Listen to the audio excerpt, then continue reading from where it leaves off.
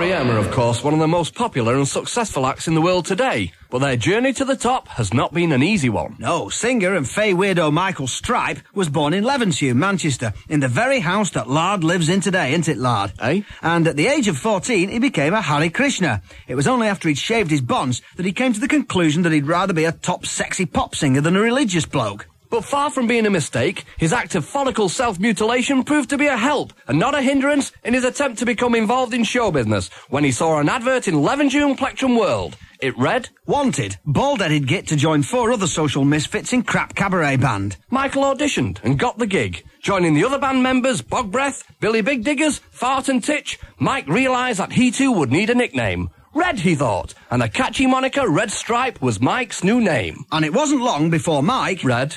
Red, Bog, Big Diggers, Fart and Titch, collectively known as the Flying Pickets, reached number one with that haunting pile of cack, Only You. This is going to take a long time. Hurry up, you daft swine. Can you hear me? What? Flush with success, Mike... Red. Red. Red went on holiday to Athens in Greece, and it was there that he met three dorky fellas, Rapid Bowel Movement. He liked the guys, but the name had to go, and overnight, Rapid Ear Movement was born. Their first record, an ode to Mike's Reds. uh, Red's influence, was a great start. This one, this one goes out to the great Roy Hudd. This one goes out to the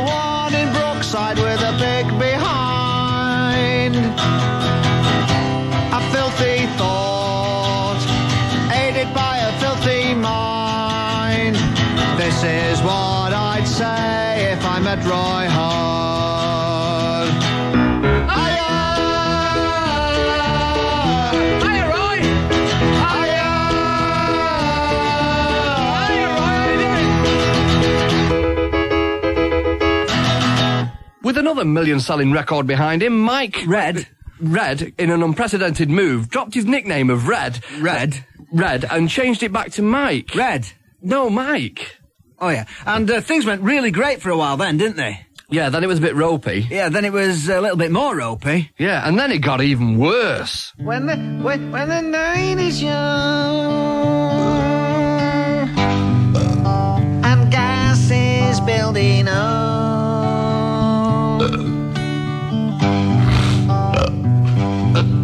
and you wanna snug, and you wouldn't mind a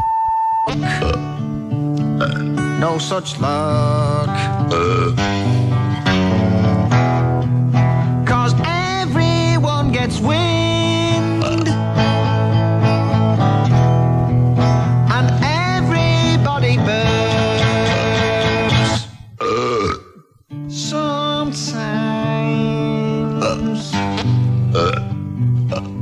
And so, in 1983, the REM bubble burst, and they were dead unpopular. Yeah, Mike was fed up big styly until one night he met a man who was to change his life dramatically. Oh yes, that man was David Bowie. Yeah, Mike got Bowie's autograph, flogged it for two million dinar, and moved back over to Levenshulme where Hang he on, a was minute, going hang, on, get... hang on a minute, didn't What? we use this ending for the Lou Reed story? Yeah. And Iggy Pop. Blummin' heck, Lard. The R-E-M